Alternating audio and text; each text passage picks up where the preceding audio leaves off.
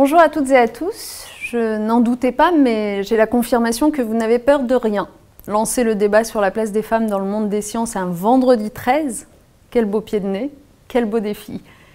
Et en effet, en novembre 2015, notre société est encore loin de considérer comme évident le fait de choisir et de vivre une carrière scientifique au féminin.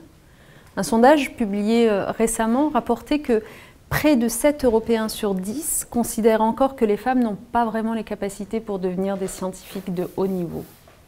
Pire encore, c'est un prix Nobel de médecine, Tim Hunt, qui tenait en juin dernier des propos terriblement sexistes sur les incapacités des femmes qui travaillent dans les laboratoires. Vous le savez mieux que quiconque, ces préjugés sont tenaces et ces expressions individuelles ou collectives pèsent encore sur la liberté des femmes sur leur liberté de choisir une formation scientifique ou technique, ou de vivre pleinement leur vocation pour les sciences. Oui, nous partons de loin, les évolutions sont lentes, trop lentes, mais j'ai aussi le sentiment que, en même temps, les choses changent et que le travail de fond que votre association Femmes et Sciences a engagé, avec d'autres bien sûr, permet de faire évoluer positivement les esprits. Il n'est pas indifférent qu'à la suite des propos sexistes de M. Hunt, des réactions de femmes scientifiques du monde entier se soit fait entendre partout sur les réseaux sociaux. Ce combat pour l'égalité, la liberté de choix des femmes, est un combat qui me tient à cœur autant qu'à vous, que je mène depuis longtemps déjà et que je sais, nous ne pourrons gagner qu'ensemble. C'est un combat sur la communication, c'est un combat sur le fond aussi. La communication est nécessaire pour dénoncer, faire tomber les préjugés. Oui, beaucoup de jeunes filles hésitent à s'engager, parce que trop souvent elles se sous-estiment ou parce qu'elles craignent d'avoir à choisir entre une carrière scientifique et une vie personnelle et familiale. Alors comme vous l'avez fait aujourd'hui, il faut illustrer des parcours réussis. Il faut donner, à voir la réalité des carrières scientifiques au féminin.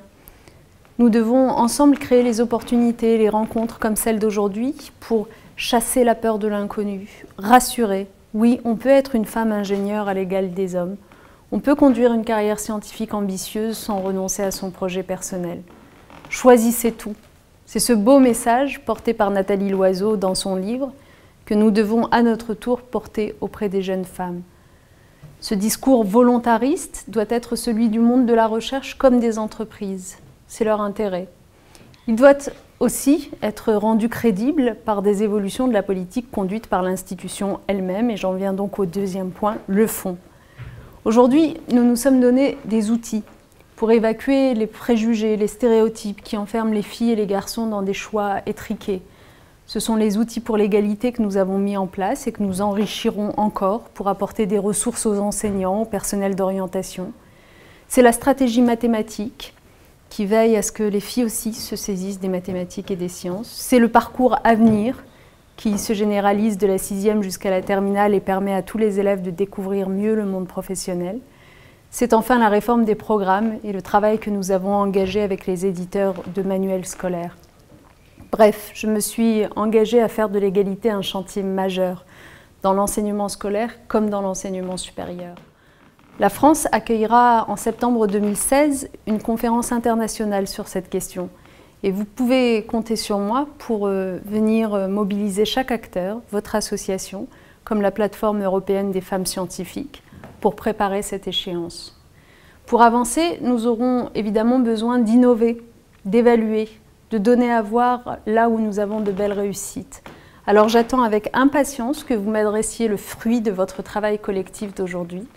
Je connais votre force de proposition, votre motivation. Vous connaissez ma détermination, je crois. Alors nous aurons besoin des deux.